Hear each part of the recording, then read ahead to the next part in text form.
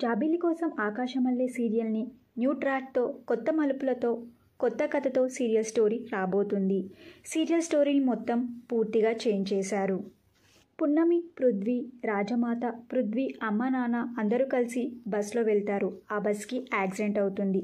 దాంతో పున్నమి పృథ్వీ తప్ప మిగతా వాళ్ళందరూ చనిపోయినట్టుగా చూపిస్తారు. పున్నమి మరియు పృథ్వీ యాక్సిడెంట్తో ఇద్దరు దూరం అవుతారు పున్నమి ఒక హాస్పిటల్లో ట్రీట్మెంట్ తీసుకుంటూ ఉంటుంది. ఇది ఇలా ఉండగా సీరియల్లో కొత్త క్యారెక్టర్స్ ఎంట్రీ ఇచ్చారు.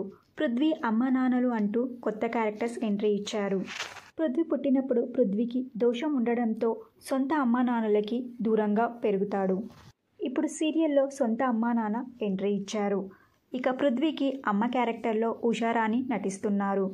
ఉషారాణి కార్తీక దీపం ప్రేమ ఎంత మధురం సీరియల్స్లో నటించారు. ఇక పృథ్వీకి తండ్రి క్యారెక్టర్లో చిట్టి ప్రకాష్ నటిస్తున్నారు. చిట్టి ప్రకాష్ వైదేహి పర్ణయం సీరియల్లో నటించారు.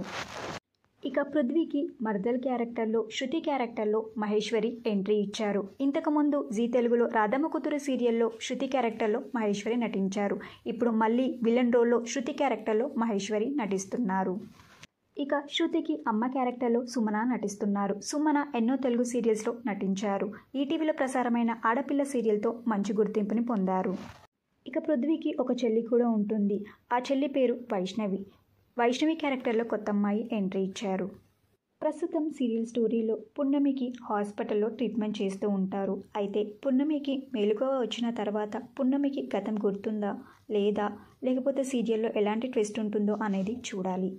జాబిల్లి కోసం ఆకాశమల్లే సీరియల్ స్టోరీని పూర్తిగా చేంజ్ చేయడం అంతేకాకుండా ఈ సీరియల్లో కొత్త క్యారెక్టర్స్ ఎంట్రీ ఇవ్వడంపై మీ అభిప్రాయాన్ని కింద కమెంట్ బాక్స్లో కమెంట్ చేయండి. ఈ వీడియో మీకు నచ్చితే లైక్ చేసి షేర్ చేయండి. ఇలాంటి మరిన్ని సీరియల్స్ లేటెస్ట్ అప్డేట్ కోసం dream Telugu fact channel subscribe చేసుకొని పక్కనున్న బెల్ ఐకాన్ని యాక్టివేట్ చేయండి. Thank you for watching.